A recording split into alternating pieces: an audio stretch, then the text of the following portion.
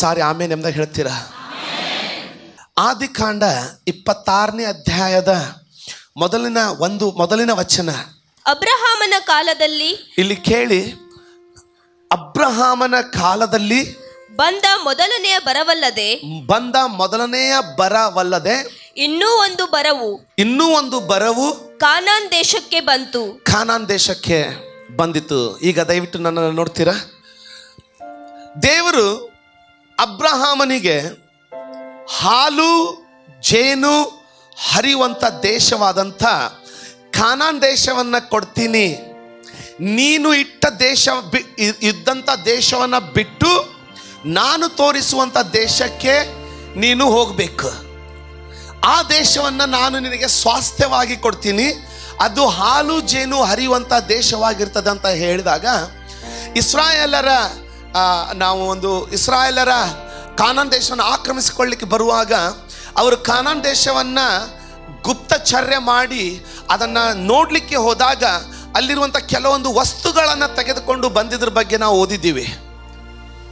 ಅಲ್ಲಿರುವಂಥದ್ದು ಒಂದು ದ್ರಾಕ್ಷೆ ಗೊಂಚಲು ಎಷ್ಟು ದೊಡ್ಡದಾಗಿತ್ತಂದರೆ ಇಬ್ಬರು ಗಂಡ, ಗಂಡಾಳುಗಳು, ಅಂದರೆ ಕೆಲಸಕ್ಕೆ ಬಲವುಳ್ಳಂಥ ಕೆಲಸ ಮಾಡಲಿಕ್ಕೆ ಶಕ್ತಿ ಉಳ್ಳಂಥ ಗಂಡಸರು ಇಬ್ಬರು ಆ ಒಂದು ದ್ರಾಕ್ಷೆ ಗೊಂಚಲಿನ ಮಧ್ಯದಲ್ಲಿ ಒಂದು ಕಟ್ಟಿಗೆಯನ್ನ, ಒಂದು ಕೋಲನ್ನು ಹಾಕಿಬಿಟ್ಟು ತಮ್ಮ ಇಬ್ಬರು ತಮ್ಮ ಹೆಗಲುಗಳ ಮೇಲೆ ಆ ದ್ರಾಕ್ಷಿ ಗೊಂಚಲನ್ನು ಹೊತ್ತುಕೊಂಡು ಹೋದ್ರಂತೆ. ಅಂದರೆ ಒಂದು ಗೊಂಚಲು ಅಷ್ಟು ದೊಡ್ಡ ಗೊಂಚಲು. ಆಮೇಲೆ, ಅಂದರೆ ಅಷ್ಟು ಸಮೃದ್ಧಿಯಿಂದ ಸೇರಿದ ದೇಶ, ಅಷ್ಟು ಆಶೀರ್ವಾದಗಳಿಂದ ಸೇರಿದ ದೇಶ, ಅಷ್ಟು ಏಳಿಗೆಯಿಂದ ತುಂಬಿದ ದೇಶವನ್ನ ನಾನು ನಿನಗೆ ಸ್ವಾಸ್ಥ್ಯವಾಗಿ ಕೊಡ್ತೀನಿ ಅಂತ ದೇವರು ಅಬ್ರಾಹ್ಮನಿಗೆ ಹೇಳಿದಾಗ, ಅಬ್ರಹಾಮನ ಕಾಲದಲ್ಲಿಯೇ ಅಂಥ ಸ್ವಾಸ್ಥ್ಯವಾದ, ಅಂಥ ಏಳಿಗೆ ಉಳ್ಳ, ಅಂಥ ಸಮೃದ್ಧಿ ಉಳ್ಳ ದೇಶದಲ್ಲಿ ಬರಗಾಲ ಬಂತಂತೆ. ಬರಗಾಲ ದ್ರಾಕ್ಷಿಯೂ ಇಲ್ಲ, ನೀರು ಇಲ್ಲ, ಹಾಲು ಇಲ್ಲ. ಆತನ ಸಮಯದಲ್ಲಿ ಮಾತ್ರವಲ್ಲ ಆತನ ಮಗ ಇಸಾಕನ ಸಮಯದಲ್ಲಿ ಸಹ ಆ ದೇಶದಲ್ಲಿ ಬರಗಾಲ ಬಂತಂತೆ. ಬರಗಾಲ ವಾಗ್ದಾನದ ದೇಶದಲ್ಲಿ ಮೊದಲು ದೇವರು ಇದ್ದಂತ ದೇಶ ಬಿಡಿಸ್ದ. ಅಲ್ಲಿ ಚೆನ್ನಾಗಿದ್ವಿ. ಅಬ್ರಹಾಮನ ವಿಷಯದಲ್ಲಿ ನೋಡ್ಕೊಳ್ಳೋಣ. ಆತನ ಜೊತೆಗೆ ಇದ್ದೀರಾ ಅಂತ ತಿಳ್ಕೊಳ್ಳಿ. ನೀನೇ ಅಬ್ರಹಾಮ ಅಂತ ತಿಳ್ಕೊ. ಅಲ್ಲಿ ಏನು ಕಡಿಮೆ ಇರಲಿಲ್ಲ. ದನ ಕರುಗಳಿದ್ದು ನನಗೆ. ಆಶೀರ್ವಾದ ಇತ್ತು. ಇರುವಂತ ದೇಶವನ್ನ ದೇವರು ಮೊದಲು ಬಿಡಿಸ್ದ, ಬಿಡಿಸಿದ ನಂತರ ಅದಕ್ಕಿಂತ ಶ್ರೇಷ್ಠವಾದ ದೇಶವನ್ನ ಕೊಡ್ತೇನೆ ಎಂಬುದಾಗಿ ಇಲ್ಲಿಗೆ ಕರ್ಕೊಂಡು ಬಂದ, ಇಲ್ಲಿ ಬಂದ ನಂತರ ಏನ್ ನೋಡ್ತಾ ಇದ್ದೀನಿ?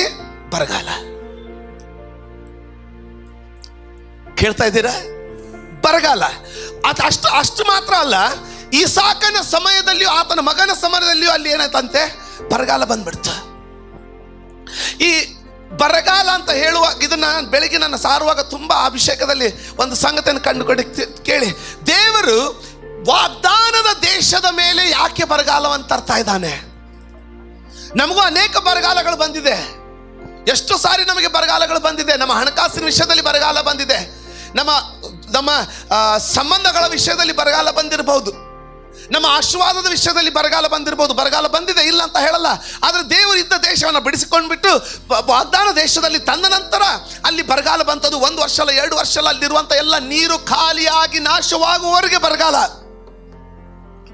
ಇದ್ರ ಬಗ್ಗೆ ವಿಚಾರ ಮಾಡ್ಕೊಳ್ತಾ ಇದ್ದೀನಿ ಅಂತ ನಾನು ಅಂದ್ಕೊಳ್ತೀನಿ. ಈ ಸಾಕನ ಸಮಯದಲ್ಲಿ ಬರಗಾಲ ಬಂದಾಗ ದೇವರ ಆತನಿಗೆ ಹೇಳ್ತಾ ಇದ್ದಾರೆ ಅದು, ಅದನ್ನು, ಅದು ಎಷ್ಟು ವಿಚಿತ್ರ ನೋಡ್ರಿ. ಬರೀ ಬರಗಾಲ ಬರುವುದು ಮಾತ್ರ ಅಲ್ಲ ಎರಡನೇ ವಚ ಒಂದು ಎರಡು ಎರಡು ವಚನವನ್ನು ಓದಮ್ಮ. ಕನ್ನಡದಲ್ಲಿ ಬಹಳ ಚಂದ ಸುಂದರವಾಗಿ ಟ್ರಾನ್ಸ್ಲೇಟ್ ಮಾಡಲಾಗಿದೆ. ಕಾನಾನ್ ದೇಶದಲ್ಲಿ ಅಂತ ಬರೆಯಲ್ಪಟ್ಟಿದೆ. ಅದು ಇಂಗ್ಲಿಷ್ ಮತ್ತು ಹಿಂದಿ ಬೈಬಲಲ್ಲಿ ಕಾನಾನ್ ಎಂಬುದಾಗಿ ಬರೆಯಲ್ಪಟ್ಟಿಲ್ಲ.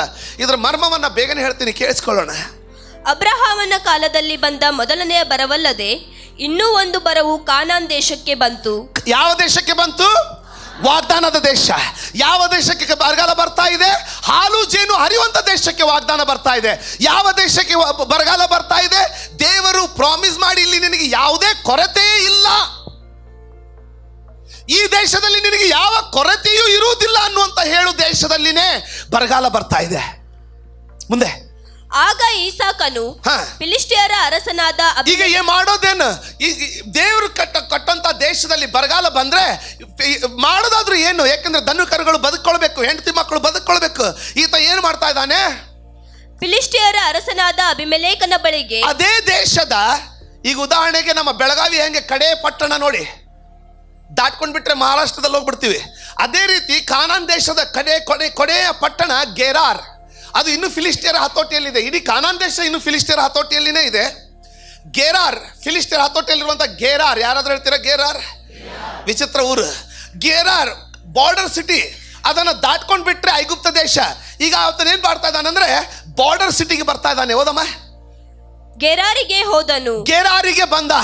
ಅಲ್ಲಿ ಯಹೋವನು ಅವನಿಗೆ ಅಲ್ಲಿ ಯಹೋವನು ಅಲ್ಲಿಯೂ ಮಳೆ ಇಲ್ಲ ಅದು ಕಾನಾನ್ ದೇಶದ ಒಂದು ಭಾಗವೇ. ಬೆಳಗಾವಿನಿಂದ ತಿಲಕ್ವಾಡಿಗೆ ಹೋದಂಗೆ. ಹಬ್ಬಬ್ಬ ಅಂದ್ರೆ ಪೀರನವಾಡಿಗೆ ಹೋದಂಗೆ. ಹಬ್ಬಬ್ಬ ಅಂದ್ರೆ ಮಚ್ಚೆಗೆ ಹೋದಂಗೆ.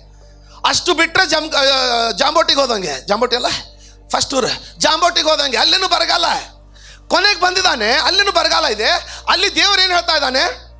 ಅವನಿಗೆ ದರ್ಶನ ಕೊಟ್ಟು ಬರಗಾಲದಲ್ಲಿ ವಾಗ್ದಾನದ ದೇಶದಲ್ಲಿ ದೇವರು ದರ್ಶನ ಕೊಟ್ಟು ಏನಾದರೂ ಸ್ವಲ್ಪ ಮಳೆ ಬೆಳೆ ಕೊಡ್ತಾನಂದ್ರೆ ಏನ್ ಹೇಳ್ತಾ ಇದ್ದಾನೆ ನೋಡಿ ದೇವರು? ನೀನು ಐಗುಪ್ತ ದೇಶಕ್ಕೆ ಇಳಿದು ಹೋಗಬೇಡ. ನೀನು ಐಗುಪ್ತ ದೇಶಕ್ಕೆ ಇಳಿದು ಹೋಗಬೇಡ ಅನ್ನಿಲ್ಲಮ್ಮ ಈಗ ನೋಡಿ ಒಂದು ಕಡೆ ದೇವರು ವಾಗ್ದಾನ ಮಾಡಿದಂತ ದೇಶ ಇನ್ನೊಂದು ಕಡೆ ಆ ದೇಶದಲ್ಲಿ ಮಳೆ ಇಲ್ಲ. ಐಗುಪ್ತ ದೇಶದಲ್ಲಿ ಏನಿದೆ? ನೈಲ್ ನದಿ ಇದೆ. ನೈಲ್ ನದಿಗೆ ಐಗುಪ್ತ ದೇಶದಲ್ಲಿನೇ ಮಳೆ ಆದರೆ ನೀರಂತಲ್ಲ. ಮೇಲೆ ಆಫ್ರಿಕಾ ಖಂಡದಲ್ಲಿ ಮಳೆ ಆದರೆ, ಆಫ್ರಿಕಾದಲ್ಲಿ ಮಳೆ ಆದರೆ ನೈಲ್ ನದಿ ತುಂಬಿ ಹರಿತದೆ. ಅದು ಮಳೆ ಇಲ್ದ್ರೂ ತುಂಬಿ ಹರಿಯುವಂಥ ಪ್ರದೇಶ. ಈಗ ಇಲ್ಲಿ ಕರೆದಂಥ ದೇಶದಲ್ಲಿ ಸ್ಥಳವಿಲ್ಲ ಕರೆದಂಥ ಸ್ಥಳದಲ್ಲಿ ನೀರಿಲ್ಲ ಕಳೆದಂಥ ಸ್ಥ ಕರೆದಂಥ ಸ್ಥಳದಲ್ಲಿ ಆಶೀರ್ವಾದದ ಭೂಮಿಯಲ್ಲಿ ಬೆಳೆ ಇಲ್ಲ. ಈಗ ನೈಲ್ ನದಿಗೆ ಹೋಗೋಣ ಅಂದರೆ ದೇವರೇನು ಹೇಳ್ತಾ ಇದ್ದಾನೆ? ಐಗುಪ್ತ ದೇಶಕ್ಕೆ ಹೋಗಬೇಡ. ಇರುವಂಗಿಲ್ಲ ಅಲ್ಲಿನೂ ಹೋಗುವಂಗಿಲ್ಲ. ದೇವರು ಇಂಥ ಒಂದು ಬಿಕ್ಕಟ್ಟನ್ನು ತನ್ನ ಜನರಿಗೆ, ವಾಗ್ದಾನದ ಜನರಿಗೆ ತರ್ತಾನ. ಕಾರಣ ಏನು? ತಿಳ್ಕೊಳ್ಳೋಣವಾ. ಅರ್ಥ ಆಗ್ತಾ ಇದೆಯಾ? ಇದು ಕೆಟ್ಟ ಪರಿಸ್ಥಿತಿಯಾ? ಅಥವಾ ದೇವರು ಏನೋ ತಿಳಿದು ತಿಳಿದು ಮಾಡ್ತಾ ಇದ್ದಾನ? ಅಥವಾ ದೇವರು ನಮ್ಮ ಮೇಲೆ ಅಧಿಕಾರ ನಡೆಸಿ ಬೀಯಿಂಗ್ ಅ ಬಾಸ್ ಒಬ್ಬ ಅಧಿಕಾರಿ ಎಂಬುದನ್ನು ತೋರಿಸ್ಲಿಕ್ಕೆ ನೋಡ್ತಾ ಇದ್ದಾನೆ. ಏನೂ ಇಲ್ಲ. ದೇವರು ಇಸಾಕನನ್ನ ದೇವರು ಇಸಾಕನನ್ನ ಪ್ರತಿಬಿಂಬಿಸುವಂಥ ನಿಮ್ಮನ್ನು, ನಮ್ಮನ್ನು ಆತನ ನಂಬಿಕೆಯ ಸರಿಯಾದ ಮಾರ್ಗದಲ್ಲಿ ತರ್ತಾ ಇದ್ದಾನೆ. ಇವತ್ತು ಅದನ್ನು ನೋಡ್ಕೊಳ್ಳಿಕ್ಕಿದ್ದೀವಿ. ಮುಂದೆ ಹೋದು. ನಾನು ಹೇಳುವ ದೇಶದಲ್ಲಿ ನಾನು ಹೇಳುವ ದೇಶದಲ್ಲಿ ನೀನು ವಾಸ ಮಾಡಬೇಕು. ಆ ನೀನು ವಾಸ ಮಾಡಬೇಕು. ಕೆಲವು ಸಾರಿ ತುಂಬಾ ಕಷ್ಟ ರೀ. ಆದ್ರೆ ದೇವರ ಆತ್ಮ ನಿನ್ನ ನುಡಿತಾ ಇದ್ದಾನೆ. ಇದ್ದ ಸ್ಥಳದಲ್ಲಿ ದೇವರು ವಾಗ್ದಾನ ಮಾಡಿದ ಸ್ಥಳದಿಂದ ಕೆತ್ಕೊಂಡು ಹೋಗ್ಬೇಡ. ಯಾಕಂದ್ರೆ ದೇವರು ನಿನಗೆ ಯಾವ ಸ್ಥಳದಲ್ಲಿ ವಾಗ್ದಾನ ಮಾಡಿದ್ದಾನೋ ಅಲ್ಲಿ ಏನೋ ಒಂದು ಉದ್ದೇಶ ಇದೆ, ಅಲ್ಲಿ ಏನೋ ಒಂದು ಜ್ಞಾನ ಇದೆ, ಅಲ್ಲಿ ಏನೋ ಒಂದು ಕಾರ್ಯವಿದೆ. ಆತ ನಿನ್ನ ಮೂಲಕ ಏನೋ ಒಂದು ಸಂಗತಿಯನ್ನು ಮಾಡಲಿಕ್ಕೆ ನೋಡಿ ಯಾವ ಕಬ್ಬಿಣವನ್ನು ಉಪಯೋಗಿಸ್ಬೇಕಂತ ಬಯಸ್ತಾರಲ್ಲ, ಅದೇ ಕಬ್ಬಿಣವನ್ನು ಬೆಂಕಿಯಲ್ಲಿ ಹಾಕೋದು, ಕಾಸೋದಕ್ಕೆ. ಉಪಯೋಗಕ್ಕೆ ಬರದ ಕಬ್ಬಿಣವನ್ನು ಯಾರು ಬೆಂಕಿಯಲ್ಲಿ ಹಾಕಲ್ಲ. ದೇವರು ನಿನ್ನನ್ನು ಬೆಂಕಿಯಲ್ಲಿ ಹಾಕ್ತಾ ಇರೋದಾಗಿದ್ರೆ ಅದಕ್ಕೆ ಏನೋ ಒಂದು ಆಕಾರ ಕೊಡುವಂತ ಯೋಜನೆ ಆತನಲ್ಲಿದೆ. ಬೆಂಕಿಗೆ ಭಯ ಬೀಳಬೇಡ. ಯಾಕೆಂದರೆ ಯಾವ ಬಂಗಾರವನ್ನು ಬೆಂಕಿಗೆ ಹಾಕ್ತಾರಂದ್ರೆ ಪುಟ ಹಾಕುವಂತ ಪರಿಶುದ್ಧ ಬಂಗಾರ ಮಾಡಬೇಕನ್ನೋದನ್ನೇ ಬೆಂಕಿಯಲ್ಲಿ ಹಾಕ್ತಾರೆ. ಕಲ್ಮಶದ ಬಂಗಾರ ಬೇಕನ್ನೋರು ಬೆಂಕಿಗೆ ಹಾಕಲ್ಲ. ನಿನ್ನ ಜೀವಿತ ಬೆಂಕಿಯಲ್ಲಿ ಹಾಕಲ್ಪಡ್ತಾ ಇರೋದಾಗಿದ್ರೆ ನೀನು ಭಯ ಪಡಬೇಡ ಯಾಕಂದ್ರೆ ದೇವರು ಈ ಕಬ್ಬಿಣವನ್ನು ರೂಪಿಸ್ತಾ ಇದ್ದಾನೆ. ಈ ಕಡೆ ಹಿಂದೆ ಹೋಗುವಂತಿಲ್ಲ, ಯಾಕಂದ್ರೆ ವಾಗ್ದಾನದ ದೇಶದಲ್ಲಿ ಮಳೆ ಇಲ್ಲ. ಈ ಕಡೆ ಮುಂದೆ ಹೋಗುವಂತಿಲ್ಲ, ಯಾಕಂದ್ರೆ ದೇವರು ಹೋಗಬೇಡ ಅಂತ ಹೇಳಿದಾನೆ. ಮುಂದೆ ಹೋದ್ರೆ ನೀರಿದೆ, ಹಿಂದೆ ಹೋದ್ರೆ ಬರಗಾಲ. ಆದರೆ ದೇವರು ಹೇಳ್ತಾ ಇದ್ದಾನೆ, ನಾನು ತೋರಿಸುವಂತ ದೇಶದಲ್ಲಿ ಇರಬೇಕು, ಅವನು ತೋರಿಸುವಂತ ದೇಶದಲ್ಲಿ ಬರಗಾಲ. ಯಾರಾದ್ರೂ ಇನ್ನೂ ಕೇಳ್ತಾ ಇರೋದಾಗಿದ್ರೆ ಒಂದ್ಸಾರಿ ಆಮೇಲೆ ನಮ್ದಾಗ ಹೇಳ್ತೀರಾ? ಆಮೇಲೆ ನಮ್ದಾಗ ಹೇಳ್ತೀರಾ? ಆದ್ರೆ ನಿಮಗೆ ಪ್ರಾಮಾಣಿಕವಾಗಿ ಹೇಳ್ತಾ ಇದ್ದೀನಿ. ನಾನು ಹೋದ್ರೂ ಸಹ ತಿರುಗಿ ಬರೋದು, ಇಲ್ಲಿ ಕಷ್ಟಪಡೋದು, ನಿಮಗೆ ಬೋಧಿಸುವಂತ ವಾಕ್ಯಗಳನ್ನು ಸಹ ಅಲ್ಲಿ ಬೋಧಿಸ್ಲಿಕ್ಕೆ ಆಗಲ್ಲ. ಕಷ್ಟಪಡೋದಕ್ಕೆ ಕಾರಣವೇನಂತಂದ್ರೆ ದೇವರು ನನ್ನನ್ನು ಇಟ್ಟಿರೋದ್ರಿಂದ. ಕಷ್ಟವನ್ನು ನೋಡಿ ಓಡೋಗ್ಬೇಡ, ಬರಗಾಲವನ್ನು ನೋಡಿ ಓಡೋಗ್ಬೇಡ. ದೇವರು ಪ್ರತ್ಯಕ್ಷನಾಗುವವರೆಗೆ ಆತನ ವಾಗ್ದಾನಗಳನ್ನು ಹಿಡ್ಕೊಂಡಿರು. ಏನೋ ಒಂದು ಸಂಗತಿಯನ್ನ, ಏನೋ ಒಂದು ಶ್ರೇಷ್ಠ ಸಂಗತಿಯನ್ನು ಆತನು ಮಾಡ್ತಾ ಇದ್ದಾನೆ. ಮಾಡ್ಲಿಕ್ಕಿದಾನಾತ ಕೇಳ್ತಾ ಇದ್ದೀರಾ? ಕೇಳ್ತಾ ಇದ್ದೀರಾ? ಪ್ರಾರಂಭದಿಂದ ಇನ್ನೊಂದು ಸಾರಿ ಓದಮ್ಮ. ಎಲ್ಲರೂ ಕೇಳಿ ಓದಬೇಡಿ. ದಯವಿಟ್ಟು ಇಲ್ಲಿ ಕೇಳಿ ಓದೋದನ್ನ ಬೇಗ ಓದಮ್ಮ. ಅಬ್ರಹಾಮನ ಕಾಲದಲ್ಲಿ ಬಂದ ಮೊದಲನೆಯ ಬರವಲ್ಲದೆ ಅಬ್ರಹಾಮನ ಕಾಲದಲ್ಲಿ ಬಂದಂತ ಮೊದಲನೇ ಬರವಲ್ಲದೆ ಇನ್ನೂ ಒಂದು ಬರವು ಕಾನಾನ್ ದೇಶಕ್ಕೆ ಬಂತು. ಆಗ ಈಸಾಕನು ಫಿಲಿಸ್ಟಿಯರ ಅರಸನಾದ ಅಭಿಮಲೇಖನ ಬಳಿಗೆ ಗೆರಾರಿಗೆ ಹೋದನು.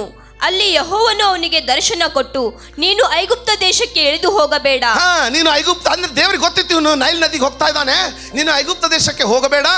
ನಾನು ಹೇಳುವ ದೇಶದಲ್ಲಿ ನೀನು ವಾಸ ಮಾಡಬೇಕು. ನಾನು ಹೇಳುವ ದೇಶದಲ್ಲಿ ನೀನು ವಾಸ ಮಾಡಬೇಕು ಅಂದರೆ ನೀನು ಈ ದೇಶದಲ್ಲಿ ಪ್ರವಾಸಿಯಾಗಿರು ಈ ದೇಶದಲ್ಲಿಯೇ ಪ್ರವಾಸಿಯಾಗಿರು ನಾನು ನಿನ್ನ ಬಳಿಯಲ್ಲಿದ್ದು. ಆ ಎಲ್ರು ಹೇಳಿ?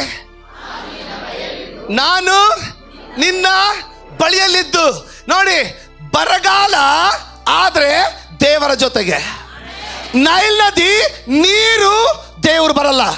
ಏನ್ ಮಾಡ್ತೀರಾ? ಇಲ್ಲಿನ ಅನೇಕ ವಿಶ್ವಾಸಿಗಳು ಎಡು ಬಿಡೋದು. ದೇವ್ರು ಬರಲಿ, ಬರದೇ ಇರಲಿ, ನನಗೆ ನೀರು ಸಿಕ್ಕರೆ ಸಾಕಪ್ಪ ಅಂತ ದೇವರ ವಾಕ್ಯಕ್ಕೆ ವಿಧೇಯರಾಗಿ ನಾವು ಯಾವಾಗ ಓಡ್ ಹೋಗ್ಬಿಡ್ತೀವೋ, ಆಗ ದೇವರು ತಾನು ಹೇಳಿದಂಥ ಬಾರ್ಡರ್ ದಾಟಿ ನಿನ್ನ ಜೊತೆಗೆ ಬರಲ್ಲ. ಆಗ ಕಷ್ಟಗಳು, ನೀರೇನೋ ಸಿಕ್ತು, ನೀರಿನ ಜೊತೆಗೆ ರೋಗನು ಬಂತು. ನೀರೇನೋ ಸಿಗುತ್ತೆ, ನೀರಿನ ಜೊತೆಗೆ ವೈರಿಗಳು ಬಂದ್ಬಿಡ್ತಾರೆ. ದೇವರು ಏನು ಹೇಳ್ತಾ ಇದ್ದಾನೆ, ಏನು ಹೇಳ್ತಾ ಇದ್ದಾನೆ, ಯಾಕೆ ಹೋಗ್ಬೇಡ ಅಂತ ಹೇಳ್ತಾ ಇದ್ದಾನೆ ಅಂತಂದ್ರೆ, ನಾನು ನಿನ್ನ ಜೊತೆಗೆ ಇದ್ದು. ಅದರ ಅರ್ಥ ಏನು ಗೊತ್ತಾ? ದೇವರು ನಿನ್ನ ಜೊತೆಗಿದ್ರೆ ಮಳೆ ನಿನ್ನ ಜೊತೆಗೆ. ದೇವರು ನಿನ್ನ ಜೊತೆಗಿದ್ರೆ ಗುಣಪಡಿಸುವಿಕೆ ನಿನ್ನ ಜೊತೆಗೆ. ದೇವರು ನಿನ್ನ ಜೊತೆಗಿದ್ರೆ ನೀರು ನಿನ್ನ ಜೊತೆಗೆ. ನೀನು ಕಣ್ಣಿಗೆ ಕಾಣುವಂತ ನೈಲ್ ನದಿಯ ನೀರನ್ನು ಹುಡುಕಿಕೊಂಡು ಹೋಗಬೇಡ. ಅಂತರಂಗದಲ್ಲಿ ನೋಡು. ನಿನ್ನ ಅಂತರಂಗದಲ್ಲಿ ಜೀವಿಸುವಂತ ನಿನ್ನ ತಂದೆಯು ನಿನ್ನ ಸಕಲ ಪ್ರಾರ್ಥನೆಗಳಿಗೆ ಉತ್ತರ ಕೊಡುವಂತ ದೇವರಾಗಿದ್ದಾನೆ. ದೇವರು ನಿಮ್ಮ ಜೊತೆಗಿದ್ರೆ ನೈಲ್ ನದಿಗಿಂತಲೂ ಶ್ರೇಷ್ಠವಾದ ನದಿ ನಿಮ್ಮ ಜೊತೆಗೆ. ದೇವರು ನಿಮ್ಮ ಕೇಳ್ತಾ ಇದ್ದೀರಾ?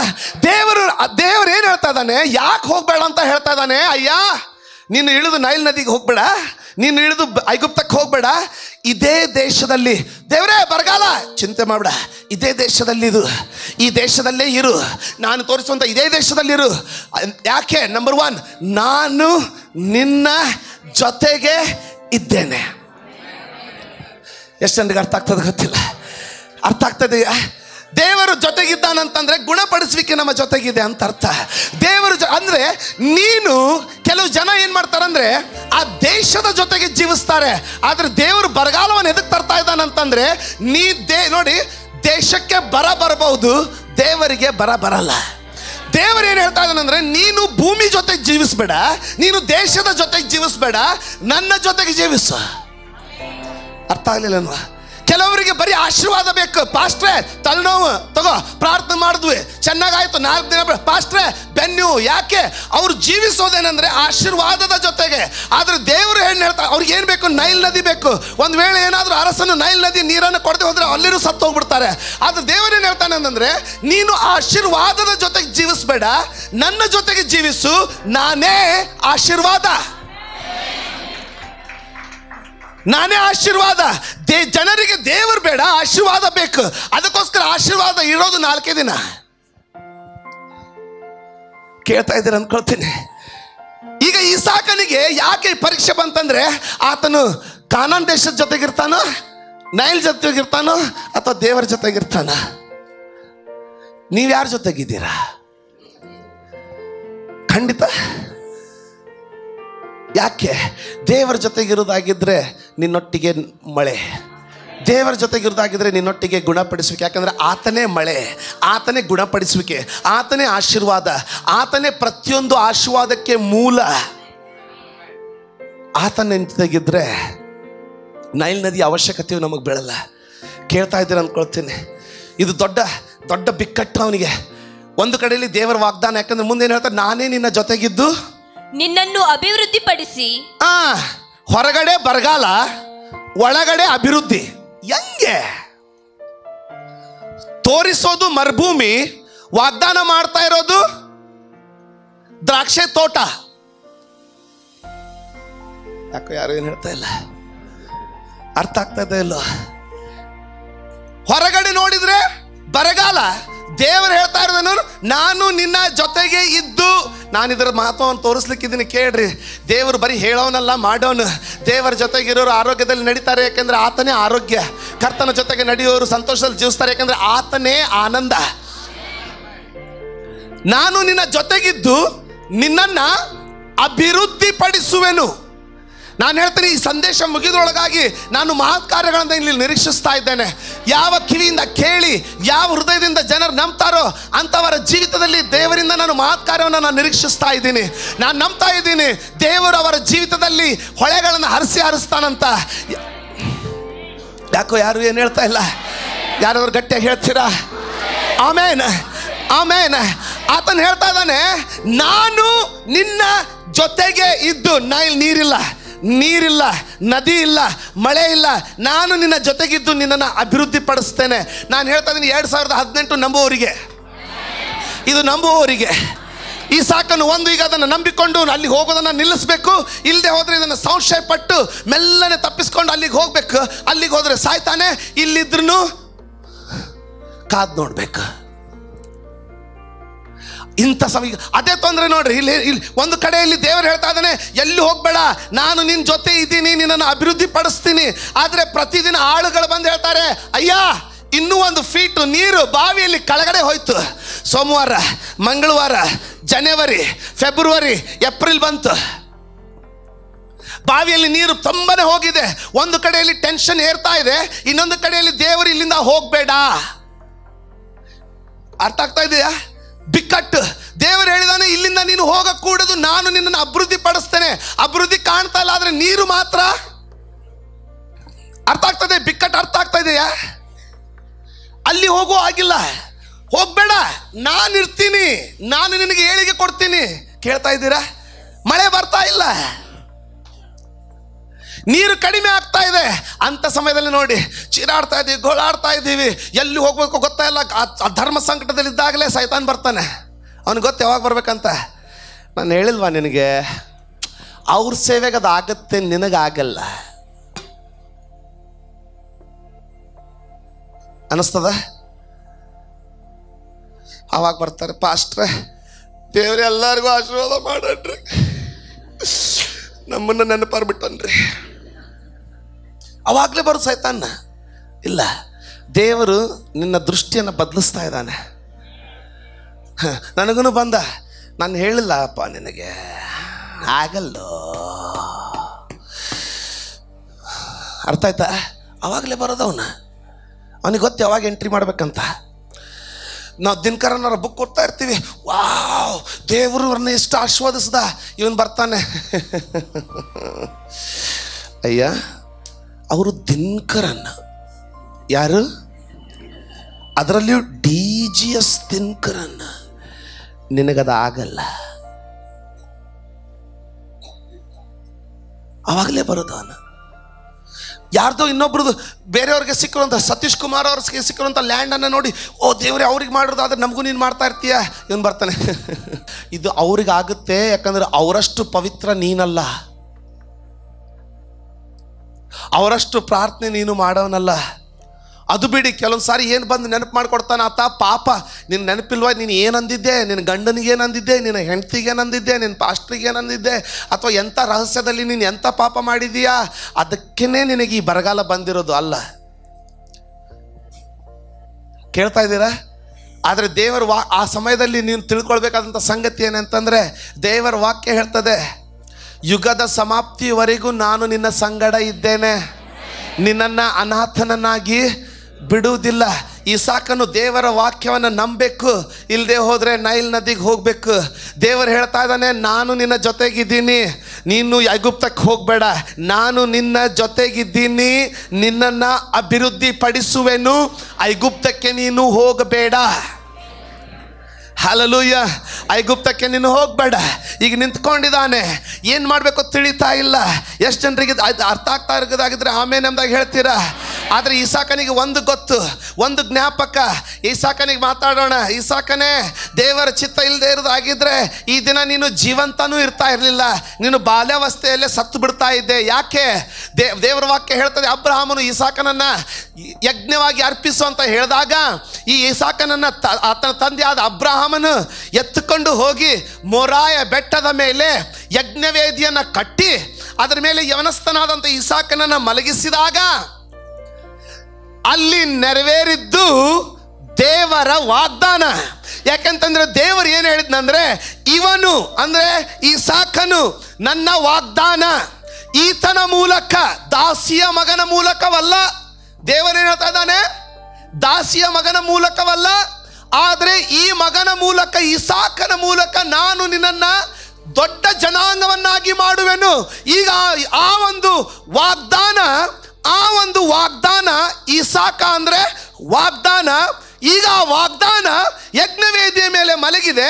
ಈಗ ಆತನ ತಂದೆ ಅದನ್ನು ಕೊಯ್ಯುವುದಕ್ಕಾಗಿ ಕತ್ತಿಯನ್ನ ಮೇಲೆ ಕೆತ್ತಿದ್ದಾನೆ. ಎಲ್ಲಿ ವಾಗ್ದಾನ?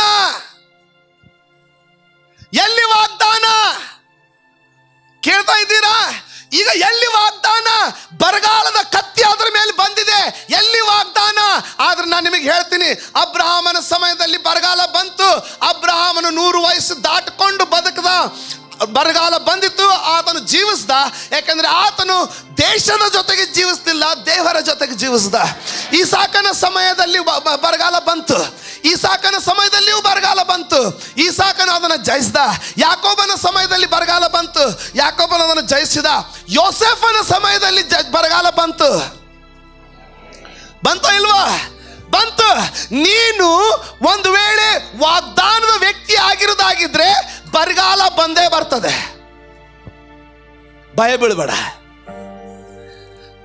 ಅಬ್ರಹಾಮನು ಜಯಿಸಿದ್ರೆ ಈಸಾಕನು ಜಯಿಸಿದ್ರೆ ಆ ವಾಗ್ದಾನ ನಿನ್ನಲ್ಲಿ ಇರೋದಾಗಿದ್ರೆ ನೀನು ಜಯಿಸ್ತೀಯ. ದೇವರಲ್ಲಿ ಏನೋ ಯೋಜನೆ ಇದೆ ನೀನು ಜಯಿಸೇ ಜಯಿಸ್ತೀಯ. ಯಾರಾದ್ರೂ ನಾನು ಜಯಿಸ್ತೇನೆ ಅಂದಾಗ ಹೇಳ್ತೀರಾ? ಹಲಲೂಯ್ಯ ಯಾಕೆ ನೀನೇ ಆ ವಾಗ್ದಾನವಾಗಿದ್ದೀಯಾ? ಮಾರ್ಕ ಹದಿನಾರು ಹದಿನಾರು. ನಂಬಿ ದೀಕ್ಷಾ ಸ್ನಾನ ಮಾಡಿಸಿಕೊಳ್ಳುವವರು. ನಂಬಿ ದೀಕ್ಷಾ ಸ್ನಾನ ಮಾಡಿಸಿಕೊಳ್ಳುವವರು. ರಕ್ಷಣೆ ಹೊಂದುವನು. ರಕ್ಷಣೆ ಹೊಂದುವರು. ನಂಬದೇ ಹೋಗುವವನು ದಂಡನೆಗೆ ಗುರಿಯಾಗುವನು. ಹ. ಇದಲ್ಲದೆ ನಂಬುವವರಿಂದ ಇದಲ್ಲದೆ ನಂಬುವವರಿಂದ ಈ ಸೂಚಕ ಕಾರ್ಯಗಳು ಕೇಳಿ ಕೇಳಿ. ಈಸಾಕನ ಬಗ್ಗೆ ಒಂದು ವಾಗ್ದಾನ.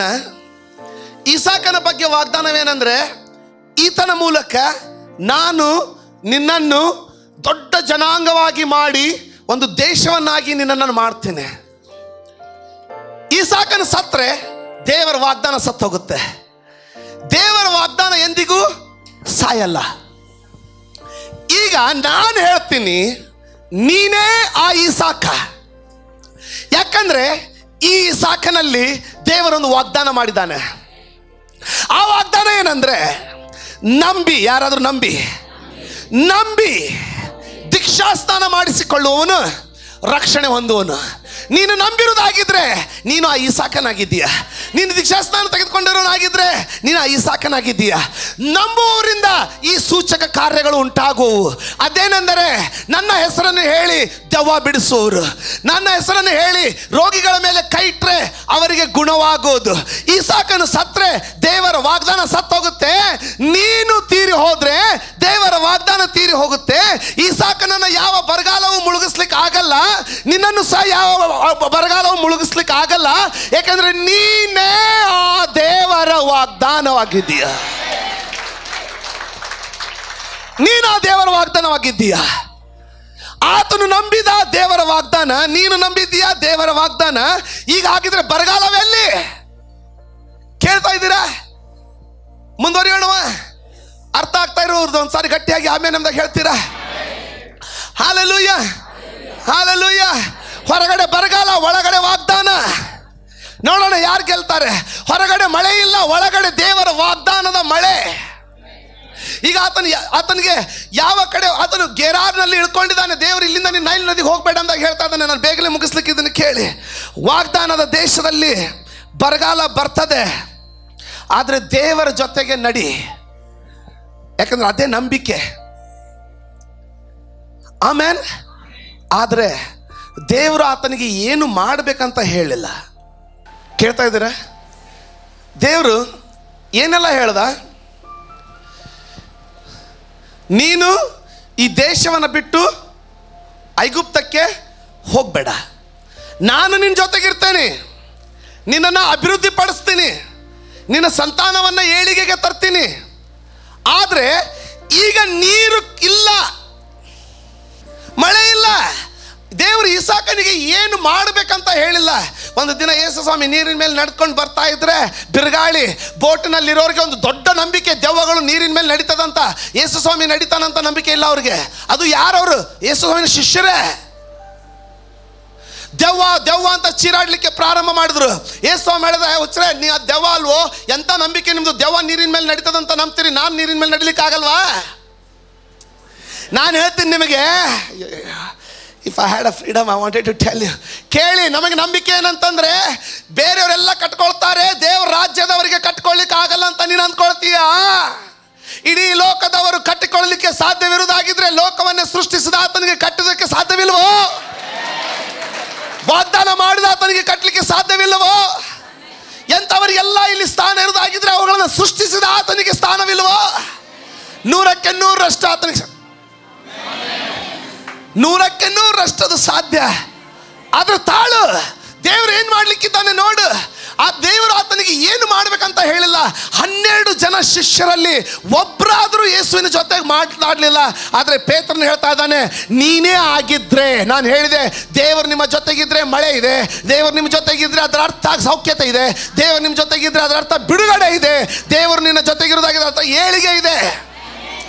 ನೀನು ಭೂಮಿಯ ಮೇಲೆ ನೋಡಬೇಡ, ದೇವರನ್ನ ನೋಡು. ಭೂಮಿಯಲ್ಲಿ ಬರಗಾಲ ಇರ್ಬೋದು, ಕರ್ತನಲ್ಲಿ ಬರಗಾಲವಿಲ್ಲ, ಅದಕ್ಕೆ ಉತ್ತರ ತಿಳಿಸ್ ತಿಳಿಸ್ತೀನಿ. ಪೇತ್ರನ ಹೇಳಿದ, ನೀನೇ ಆಗಿದ್ರೆ, ನೋಡಿ, ಒಂದು ಆ ಬೋಟಲ್ಲಿ ಸುಮ್ಮನೆ ಬಿರುಗಾಳಿಗೆ ಹಂಚಿಕೊಂಡು ಯೇಸುವನ್ನು ನಂಬದೇ ಇರುವಂಥ ಹನ್ನೊಂದು ಮಂದಿ ಶಿಷ್ಯರಾಗಬೇಡಿ. ಆದರೆ ಅದರಲ್ಲಿ ಒಬ್ಬನು ಪೇತ್ರನ ಹೇಳ್ತಾ ಇದ್ದಾನೆ, ಯೇಸುವೇ, ಇದು ನೀನೇ ಆಗಿರೋದಾಗಿದ್ರೆ ನಾನು ಸಹ ನೀರಿನ ಮೇಲೆ ನನಗೆ ಆ ವಾಕ್ಯ ತುಂಬ ಇಷ್ಟ. ನಾನು ಹೇಳಿದೆ, ದೇವರೇ, ನೀನು ಹತ್ತು, ಐದು ರೊಟ್ಟಿ, ಎರಡು ಮೀನುಗಳನ್ನು ಇಬ್ಬಾಗ ಮಾಡಿರೋದಾಗಿದ್ರೆ ನನಗೂ ಅದು ಬೇಕು. ನನಗೂ ಮಾಡಲಿಕ್ಕೆ ಅಪ್ಪಣೆ ಆಗಬೇಕು. ನೀನು ಅನಾರೋಗ್ಯಗಳಿಗೆ ಸೌಖ್ಯತೆಯನ್ನು ಕೊಟ್ಟಿರೋದಾಗಿದ್ರೆ ನನಗೂ ಅದನ್ನು ಕೊಡೋದಕ್ಕೆ ಅಪ್ಪಣೆ ಆಗಲಿ. ಹನ್ನೊಂದು ಜನ ಸುಮ್ಮನೆ ಕೂತ್ಕೊಂಡಿದ್ದಾರೆ. ಒಬ್ಬನೇ ಎದ್ದು ನಿಂತ್ಕೊಂಡು ಹೇಳ್ತಾ ಇದ್ದಾನೆ, ನೀನೇ ಆಗಿರೋದಾಗಿದ್ರೆ ನನಗೂ ಸಹ ನೀರಿನ ಮೇಲೆ ಬರೋದಕ್ಕಾಗಿ ಅಪ್ಪಣೆ ಆಗಲಿ. ಯೇಸು ಸ್ವಾಮಿ, ಇಸಾಕನಿಗೆ ಏನು ಮಾಡಬೇಕಂತ ಹೇಳಿಲ್ಲ. ಯೇಸು ಸ್ವಾಮಿ ಪೇತ್ರನಿಗೆ ಏನು ಮಾಡಬೇಕಂತ ಹೇಳಿಲ್ಲ. ಪೇತ್ರನೇ ಕೇಳ್ತಾ ಇದ್ದಾನೆ, ನಾನೂ ನಡಿಬೇಕು. ನಂಬಿಕೆ, ನೋಡಿ ನಂಬಿಕೆ ಸುಮ್ಮನೆ ಅದಕ್ಕೆ ನಾವು ಈಗ ಹೆಜ್ಜೆ ಇಡ್ತಾ ಇದ್ದೀವಿ. ಅದು ಏನಂತ ಬೇಗನೆ ನಿಮಗೆ ಕಂಡು ಬರ್ತದೆ. ನಾವು ಹೆಜ್ಜೆ ಇಡ್ತೀವಿ. ಬೀಳ್ತೀವೋ, ನಿಂತ್ಕೊಳ್ತೀವೋ ಕರ್ತನ ನಾಮದಲ್ಲಿ. ಆತನಿಗೆ ಉಂಟಾಗಲಿ. ಆದರೆ ಇದೇ ದಿನ ಈ ಸಂದೇಶ ಬರೋದಕ್ಕೆ ಕಾರಣ ನನಗೆ ಗೊತ್ತಿರಲಿಲ್ಲ. ಆದರೆ ಇದೇ ದಿನ ಬೆಳಿಗ್ಗೆ ನಾವು ಸಹ ಒಂದು ಭೂಮಿಯನ್ನು ನೋಡ್ಕೊಂಡು ಬಂದ್ವಿ. ಏನಾಗಲಿಕ್ಕಿದೆ ಗೊತ್ತಿಲ್ಲ. ಅದು ಒಂದು ಸಂಗತಿ. ದೇವರೇ, ಇದು ನೀನೇ ಆಗಿರೋದಾಗಿದ್ರೆ ಇದು ನೀನೇ ಆಗಿರೋದಾಗಿದ್ರೆ ಯಾರಾದರೂ ಆಮೇಲೆ ನೆಮ್ಮದಾಗ ಹೇಳ್ತೀರಾ? ಇದು ನೀನೇ ಆಗಿರೋದಾಗಿದ್ರೆ ನಾನು ಸಹ ನೀರಿನ ಮೇಲೆ ಬರುವಂತ ನನಗೆ ಅಪ್ಪಣೆ ಆಗಲಿ. ಹನ್ನೊಂದು ಜನ ಸುಮ್ಮನೆ ಕೂತ್ಕೊಂಡಿದ್ದಾರೆ. ಅವ್ರು ಎಂದಿಗೂ ನೀರಿನ ಮೇಲೆ ನಡಿಲಿಲ್ಲ. ಆದ್ರೆ ಈತನ ಕೇಳ್ತಾ ಇದ್ದಾನೆ, ನೀನೇ ಆಗಿರೋದಾಗಿದ್ರೆ ಈ ಸಾಕನು ಸಹ ನೈಲ್ ನದಿಗೆ ಹೋಗಬೇಡ, ಆಯ್ತು, ಇಲ್ಲೇ ಇರು, ಆಯ್ತು, ಮಳೆ ಇಲ್ಲ, ನೀರು ಹಿಡಿತಾ ಇದೆ. ಮಳೆನೇ ಇಲ್ಲ, ನೀರು ಕಡಿಮೆ ಆಗ್ತಾ ಇದೆ, ಈಗ ಮಾಡೋದೇನು? ದೇವರು, ನಾನು ನಿನ್ನ ಜೊತೆಗಿದ್ದೇನಂತ ಹೇಳ್ತಾನೆ ಹೊರತು ನೀನು ಏನು ಮಾಡಬೇಕಂತ ಹೇಳಲ್ಲ. ನೀನು ನಿರ್ಧರಿಸು. ನಿನಗೆ ವಾಕ್ಯದ ಜ್ಞಾನ ಕೊಟ್ಟಿದ್ದೀನಿ. ಪವಿತ್ರಾತ್ಮನ ಪ್ರೇರೇಪಣೆ ಕೊಟ್ಟಿದ್ದೀನಿ. ಈಗ ನೀನು ಹೆಜ್ಜೆ ಇಡು. ನಾನು ನಿನ್ನನ್ನು ಏಳಿಗೆ ಪಡಿಸ್ತೀನಿ. ನೀನು ಕೈ ಹಾಕು. ನಾನು ಅದನ್ನು ಅಭಿವೃದ್ಧಿ ಪಡಿಸ್ತೀನಿ ನೀನು ಹೆಜ್ಜೆ ನೀಡು. ನಾನು ನಿನ್ನನ್ನು ಮುಂದೆ ನಡೆಸ್ತೀನಿ.